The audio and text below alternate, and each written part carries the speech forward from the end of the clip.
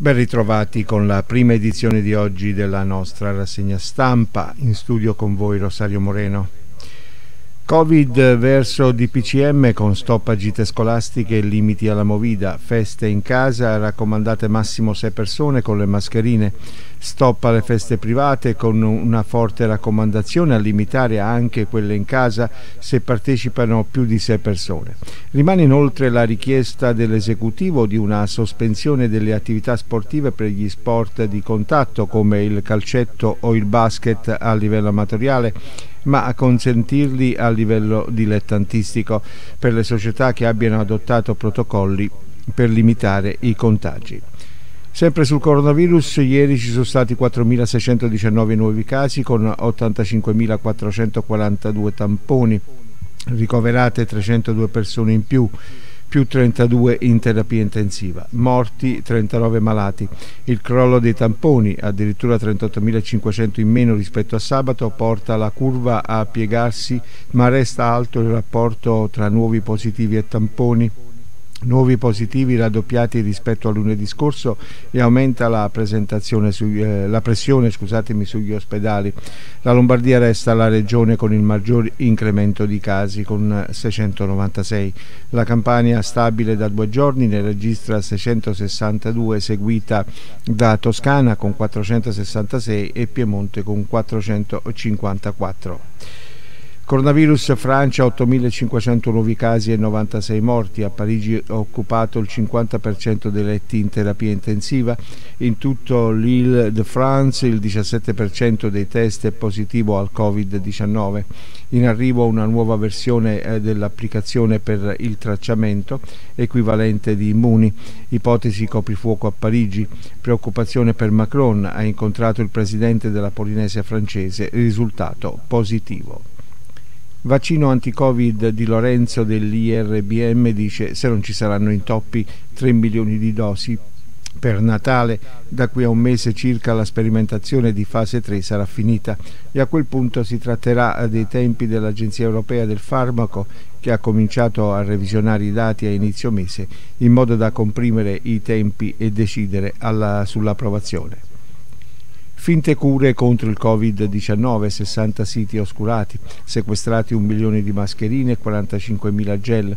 In AS nell'ambito, nell'ambito della campagna Estate Tranquilla hanno svolto una campagna di controllo lungo tutta l'estate, da inizio giugno a fine settembre, oltre 14.200 le ispezioni effettuate dalle eh, RSA ai ristoranti.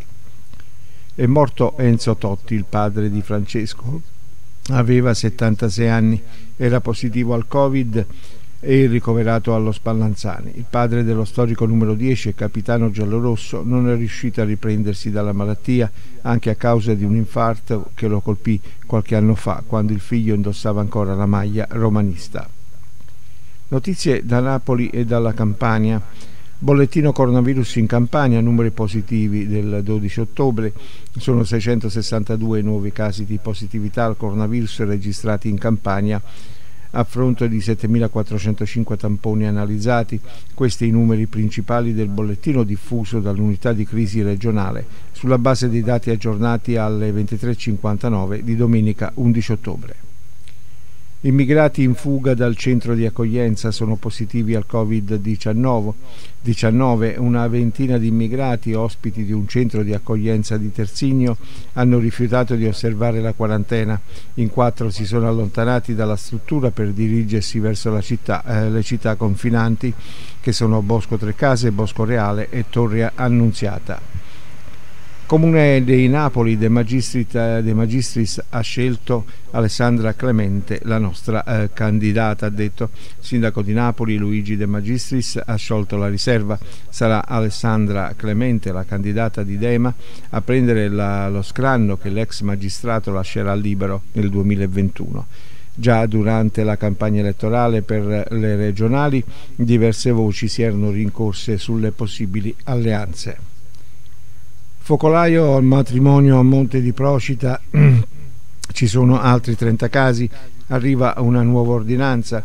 Ci sono aggiornamenti sul focolaio innescatosi durante il ricevimento per un matrimonio a Monte di Procida a fornirli al sindaco Peppe Pugliese durante una diretta Facebook in cui svela che ora il totale di positivi nella cittadina Flegrea è salito a 62.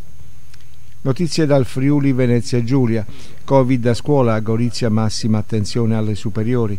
Ziberna ha detto i contagi quasi tutti i ragazzi di fuori città sono aumentati in questi ultimi giorni con intere classi in quarantena. Stiamo assistendo a un nuovo aumento dei contagi in tutto il mondo anche se i dati che ci vengono forniti quotidianamente dai media in Italia rispetto ai primi mesi ricoveri ospedalieri, terapie intensive e morti sono nettamente inferiori, mentre aumentano gli asintomatici e commenta così il sindaco di Gorizia Rodolfo Ziberna che dice così anche nella nostra regione, anche se eh, ci, si, ci si sta attrezzando per un possibile peggioramento della situazione.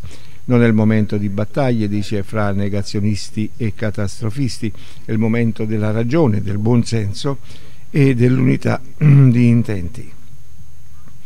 Covid nelle scuole di Gonars, 18 in quarantena. Il sindaco Ivan Diego Boemo invita tutti alla massima prudenza e al rispetto delle normative per il contenimento della pandemia. Il Covid-19 è arrivato anche nelle scuole di Gonars, quindi a darne notizia il sindaco Ivan Diego Boemo in, in un post pubblicato su Facebook ieri sera 12 ottobre.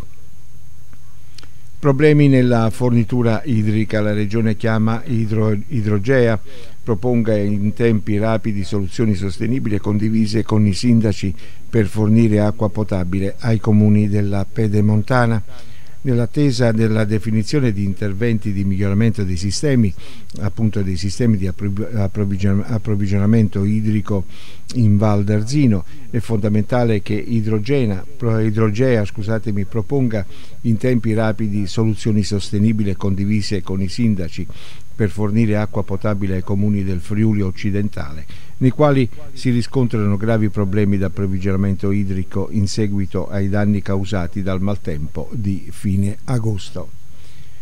Fermato per la droga nel telefono a 2000 file pedopornografici. Nei guai un 26enne afgano richiedente asilo arrestato dalla Polizia di Stato di Pordenone. Sabato 10 ottobre una pattuglia della squadra volante della questura di Pordenone ha notato in viale Martelli un giovane che alla vista degli agenti è salito in bici allontanandosi precipitosamente.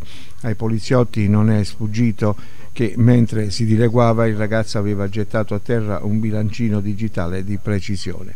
È stato inseguito, lo, lo hanno bloccato poco più avanti, sottoposto a controllo aveva con sé 7,5 grammi di hashish e numerose banconote da 5 euro, verosimilmente provento di spaccio. Cari amici, con questo è tutto, termina qui questa prima edizione di oggi della rassegna stampa.